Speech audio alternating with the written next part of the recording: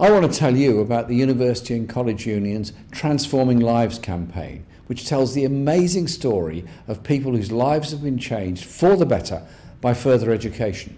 People like Abby, a single mum from Manchester who, having escaped an abusive relationship, took an access course at college and is now studying for a degree at Manchester University.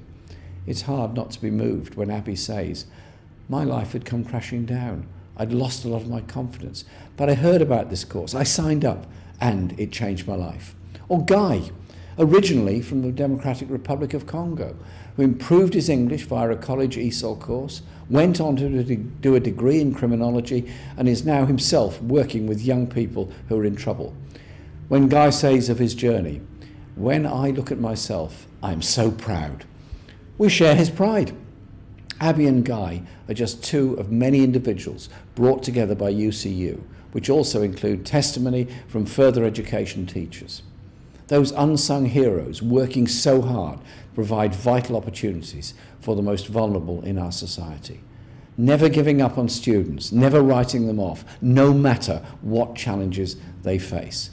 UCU says that to help 250,000 more people like Abby and Guy, we urgently need 15,000 more further education teachers.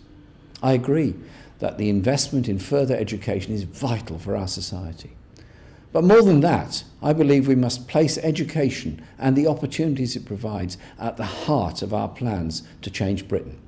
If you support UCU's campaign, please visit the Transforming Lives website.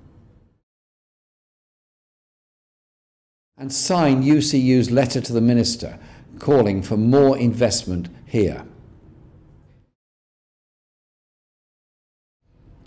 Once you've done that, share this message. Thank you very much.